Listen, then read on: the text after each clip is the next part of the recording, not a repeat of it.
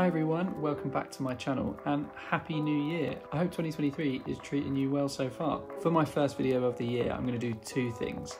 Firstly, I'm going to wrap up what I read in December, and then I'm going to share some reading resolutions I'm making for 2023 to make this year an even better reading year than last year. Let us not tarry though, and we'll get straight in to the reading wrap up. In December, I read a total of five books, and I've got four of them here, and one of them was on Kindle. Four of those books were ones that I read for a video that I did where I took books from different countries that were competing in the World Cup and got them to battle it out to see who would win my World Cup of books. I'll link to that video in the description below, but I'll also tell you about those books and my experience of reading them in this wrap up. To start off with, the first book I read was Doppelganger by Dasa Drndić, which is a short book that contains a short story and a novella, both translated by different translators from the original Croatian. These two parts of the book are very subtly linked together um, but not in any real meaningful way that sort of affects the arc. So you could read these stories independently. The short story is called Artur and Isabella, which is translated by Susan Curtis and is about two 70 something year old people in Croatia who go out on New Year's Eve and meet and have a bit of a sexual encounter on the street. Um, which is really interesting to see that explored in fiction because you don't often see older people um, sexualized in in this way. But they've got some interesting backstory too, where one was affected by the Holocaust in World War II, and another was involved in communism. And we see some of the implications of that as those two characters are monitored by the sort of Secret Service, and we get some of their background. The second part of the book is more of a novella. Um, it's quite a bit longer than the first part and it's called Pupi and it's translated by Cecilia Hawkesworth. It follows a down and out character called Prince who lives with his father at the start of the novel, but circumstances mean that he becomes homeless. I'm not going to dwell on this book for too long because, to be totally honest, I just didn't really enjoy it. I didn't really understand what was going on most of the time, particularly in the second part, which is the, the longer part of the book. I have heard that Dasa Drndić often intends to write in a really sort of annoying way to the reader and insists on that being sort of maintained in translation. And boy, does she achieve her goals because I just found this so stressful to read. It was like being in the mind of an anxious person. And I found myself sort of really desperate to get to the end. Um, it wasn't an enjoyable experience for me at all. You might get more out of it, and there certainly are plenty of positive reviews on Goodreads. Dasa Drndić is a renowned Croatian author, and she's got a number of well regarded books. Uh, but I think they just they just weren't for me. Moving on though to a novel that was definitely much more my style. We've got At Night All Blood is Black by David Diop. David Diop is a French author of Senegalese descent, and this was translated from the original French by Anna Moschovakis. This tells the story of two Senegalese men who are friends drafted in from Senegal to support France in one of the world wars. It's not mentioned which one, but we can assume, I think, that it's World War One.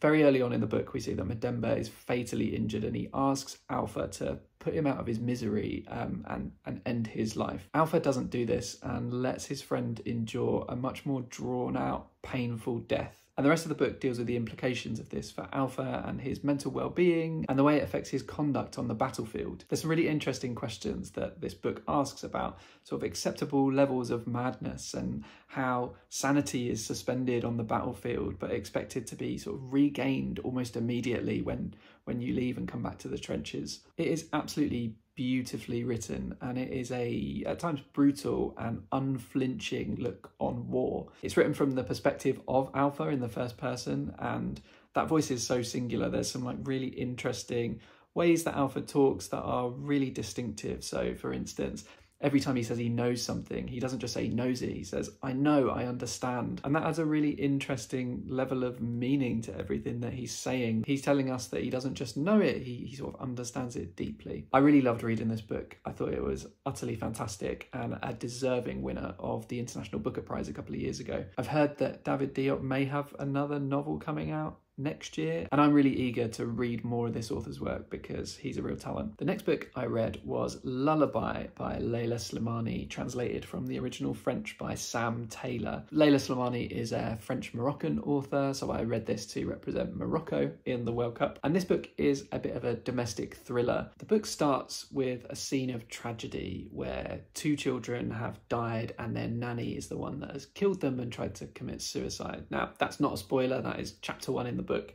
In fact, it's referenced right on the cover. And I think one of the things that really surprised me about this book is that it is it's not really a thriller. It's not a who done it. You're not trying to work out who was responsible for this because you know right from the start. This is a really surprisingly quiet book about how we got to that point. And so after that scene we rewind right back to the point at which the couple, Miriam and Paul, are looking for a nanny so that Miriam can go back to work. And they find Louise, who is on the surface a fantastic nanny. Um, she really looks after the children well. She goes above and beyond in her job. But we see this slow descent over the course of the novel and tension builds until we reach this breaking point. I thought this was really, really brilliant actually.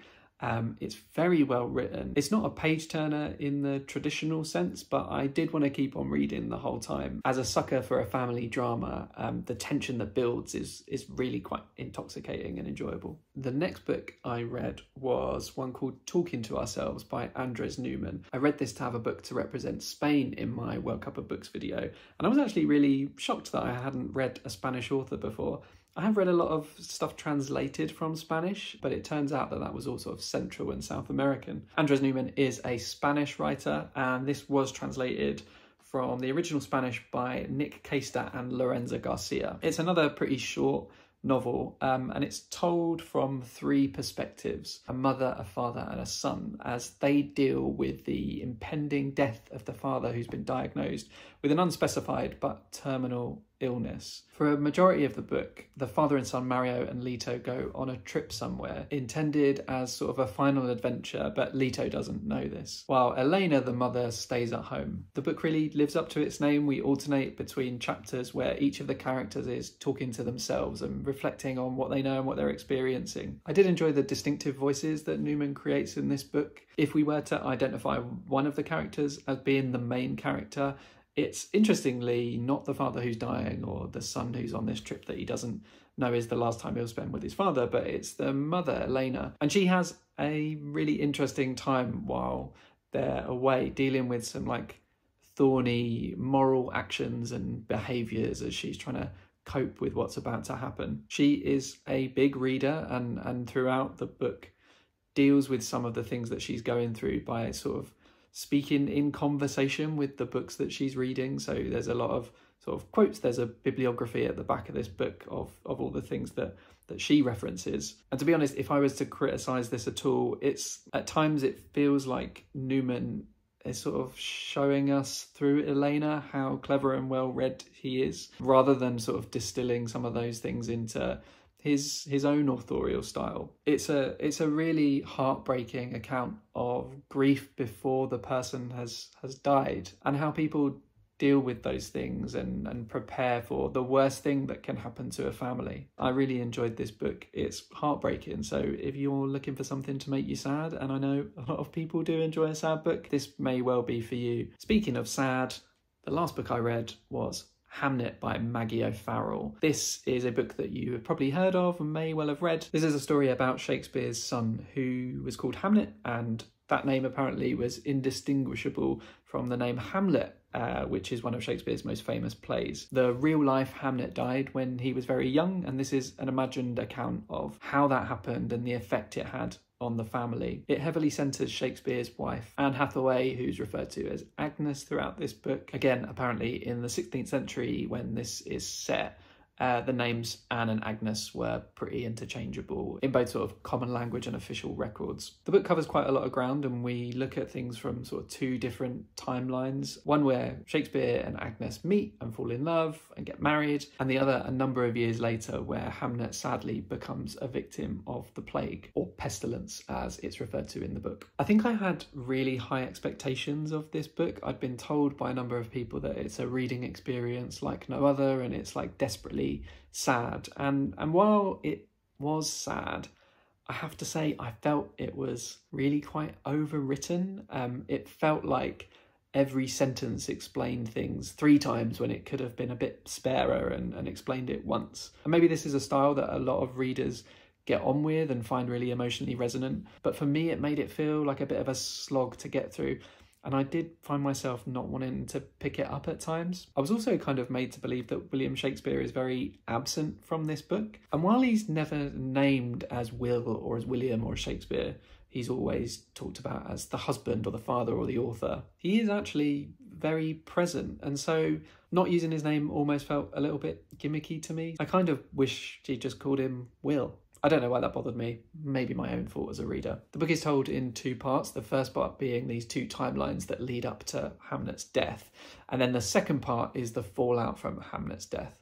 And I think that second part actually worked a lot better for me. It became like a book not separated by chapters, but separated instead by these scenes and vignettes. And I think that quite skillfully reflected how it must feel when you're grieving, sort of zoning in and out of the world around you, which carries on regardless of, of the fact that you've just lost a loved one. Overall, I thought this was a good novel, but maybe not my specific cup of tea. It felt a bit like a chamomile when I'm more of an Earl Grey kind of guy. So that's my December reading out of the way. Let's move on to my reading resolutions, where there are three things that I want to try and achieve this year when it comes to reading. The first thing, inspired a bit by some of the reading I did last month, I want to read some books by authors from countries where I haven't read books from there before. When I was doing my World Cup of Books, I, I, looked to do the, the actual 16 countries that made it through to the round of 16. But while it was still uncertain who was going to make it through from the group stages, I tried to sort of identify books that I had read from each of the countries in the World Cup. And I was surprised actually at countries like Australia and Spain and Germany, I'd never read books from before. And it highlighted to me a bit of a gap in my reading life. And I think there's a lot to gain from sort of reading widely and diversely. I mean, that's not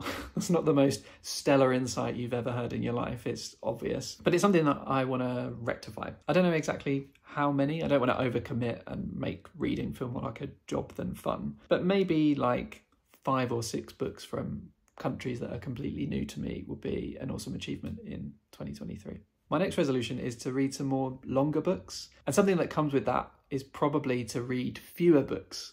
So in 2022, I read 60 books, and that's the most I've ever read in a single calendar year. And I'm really pleased with the achievement of, of reading that much and, and enjoying reading that much. But by striving to read more and more and more books, I also find myself leaning towards shorter and shorter and shorter books. And don't get me wrong, I love a novella.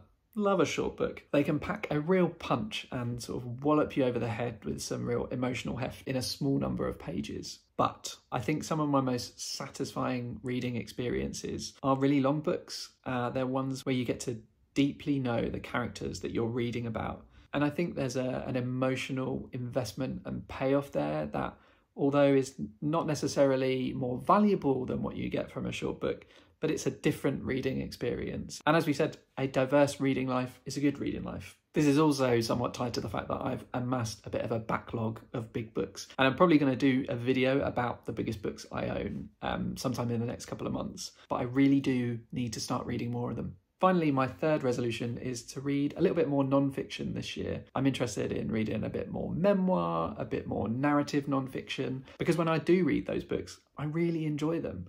But I need to make sure that I prioritize that sort of reading because although I love fiction, it's my first love, I'm not going to turn my back on it. I do think it would be a good idea to make some room for non-fiction in my reading life. Again, I'm not sure how many non-fiction books I want to commit to, but maybe let's keep this let's keep this achievable and I'll say I want to read books from five countries that I haven't read books from before, five of my longer books, so maybe books that are more than 500 pages, five non-fiction books. And then that commits sort of 15 of the books I read this year to these goals, which I think I can do. Maybe. We'll see. Anyway, if you've got any reading resolutions or things that you want to change about your reading life in 2023, uh, let me know in the comments. I'm really interested to hear, and it might inspire me to adopt a few more. Who knows? But that's it for this video. If you liked the video, I'd really appreciate a thumbs up on it. And if you're not subscribed to my channel yet, why not hit the subscribe button and then you can see my next video and the one after that and the one after that I'll be back next week with a video where I tell you about every single book that I did read last year. But until then, toodles!